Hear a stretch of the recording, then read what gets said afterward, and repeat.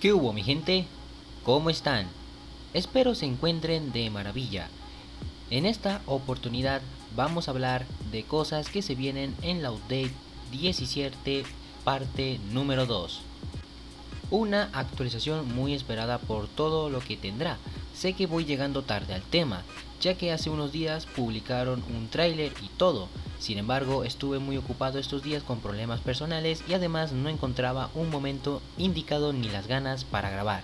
Pero hoy me dispuse a grabar este video para informarles a ustedes sobre las cosas que tendrán esta nueva actualización. Bueno, les dejo de contar mi vida y comenzamos. En el tráiler publicado en el canal oficial del creador de Blox Ruiz pudimos apreciar la Phoenix Awakening.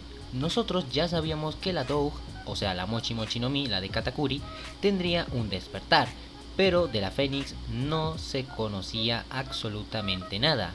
Y justamente en el tráiler nos sale con que tendrá su propio despertar.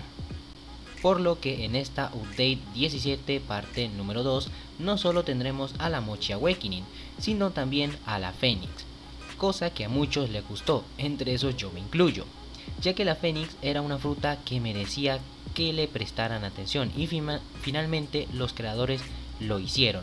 Los ataques del despertar de la Fénix son hermosos, tienen muy buena animación, textura y demás. Lo único que me preocupa es que genere mucho lag como la magma, pero fuera de eso está bellísima. La verdad no puedo esperar a probarla. Seguido de eso tenemos la expansión de la última isla, Wall Cake. Actualmente tenemos dos islas chiquitas que representan a Wall Cake, pero estas serán ampliadas y se van a añadir otras más alrededor, más grandes y más chiquitas. En pantalla estarán viendo imágenes para que más o menos se hagan una referencia. La verdad muy bonito todo. Continuando con Wall Cake tendremos una nueva arma la cual es la lanza de Katakuri. Digo, continuando con Wallcake, porque bueno, Katakuri proviene de Wallcake, ¿no? Entonces, este, tendremos la nueva arma que es la lanza de Katakuri, la cual también se nos muestra en el trailer donde sale la Phoenix Awakening.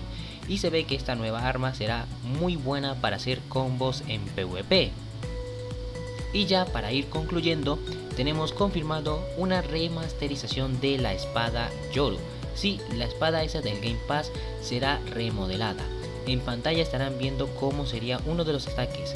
Me parece interesante que los desarrolladores agarren cosas viejas y las mejoren. Eso muestra el interés de los creadores por mejorar su juego cada mes más. Y yo en lo personal eso lo aprecio. En conclusión, esta actualización será una de las más grandes y mejores, diría yo, aunque cada vez que sale un update los creadores se superan cada vez más. Si buscan la fecha de salida del update aún no se sabe, al menos yo no la conozco. Y bueno, esto es todo por mi parte, espero que el video te haya gustado y en especial te haya servido. Recuerda dejar tu like y suscribirte. En la descripción está mi grupo de Discord por si te quieres unir. Y no tengo más que añadir.